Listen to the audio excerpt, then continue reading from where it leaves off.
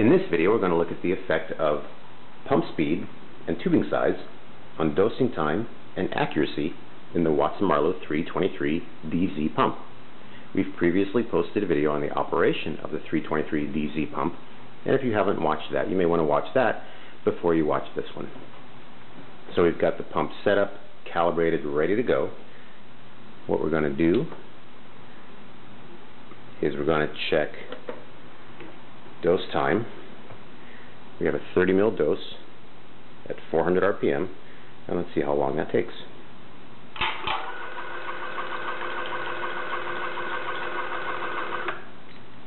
Okay, that took 5 seconds, and we had a target of 30. It gave us 31. I'm going to write that down. 5 seconds, 31 mils. Let's see what happens when we change the pump to 400 RPM. So let's back out of the uh, dose menu and set the dose, but change only one parameter, and that's the RPM. I'm going to drop it from 400 down to 100.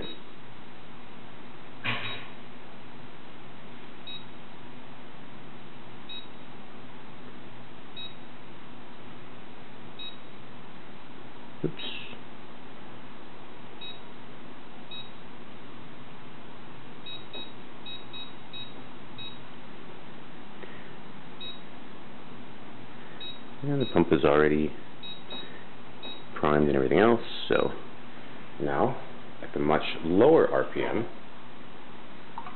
with the same 3.2 millimeter ID tubing, You may or may not see an impact on the uh, fill volume because this is not a very accurate scale, but we'll definitely see an impact on filling time.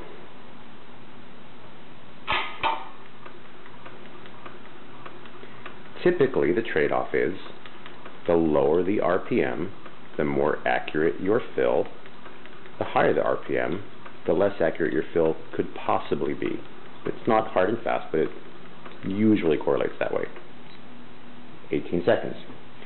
So at 3.2 millimeter ID tubing, 100 RPM, 18 second fill, 30 grams, that was our target.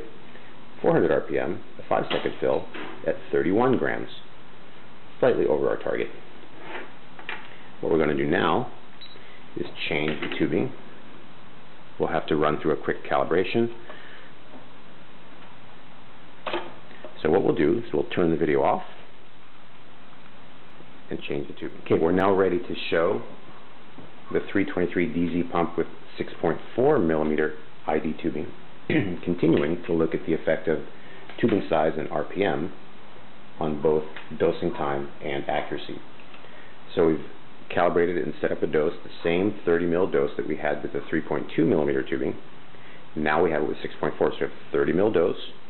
We have the pump calibrated and primed, it's ready to go and uh, it's at 400 RPM, so it's going to fill really quickly. We may not even,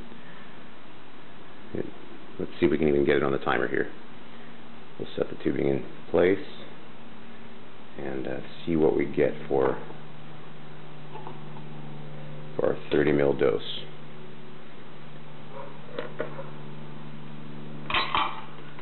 Oh, sorry, it was at 100 RPM.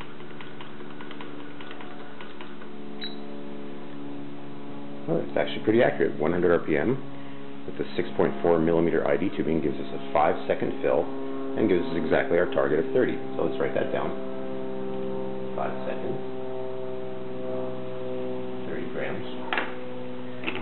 Let's go back and reset that dose to 400 RPM and it'll probably be about one second and I'm sure it will be uh, interesting to watch. Let's go back and set the dose now at a much higher RPM. We'll change from 100 RPM. We'll go all the way up to 400, which is the maximum on this pump. And uh, we may get some splashing, but we'll see. Enter. It's already primed. Well, let's see what we get here. We still have the scale. Oh, still have the scale at, uh, there we go, tared, And uh, let's see what if, how quickly this goes at 400 RPM. Yep. Oh, two seconds. So it's two seconds. Probably uh, how quickly I could press the button there. But it gave a fill of, uh, oh, there we go. Actually, it gave the same fill. It gave 30, very good, 30 mils, much faster. I expected it to be a little bit less accurate, but again, this scale doesn't have much resolution, so couldn't see the difference. But we have uh, a much faster fill, two seconds, but we still got our same 30 gram dose. So quickly reviewing, with 3.2 millimeter ID tubing at 100 RPM, it took 18 seconds. We got our target of 30 grams. At 400 RPM, with the 3.2 millimeter ID tubing, got a 5 second fill and went over a bit. We got 31 grams. With this larger 6.4 millimeter ID tubing, both 100 and 400 RPM gave us our target dose. If we had a, a very accurate scale, we would definitely see a difference. Uh, but with the 6.4 millimeter ID tubing, the 100 RPM filled in 5 seconds. The 400 in 2 seconds, it was probably closer to 1 second, but I couldn't press the button fast enough. And there's a quick summary of the effect on tubing size and pump speed on the time and accuracy in the 323DZ pump.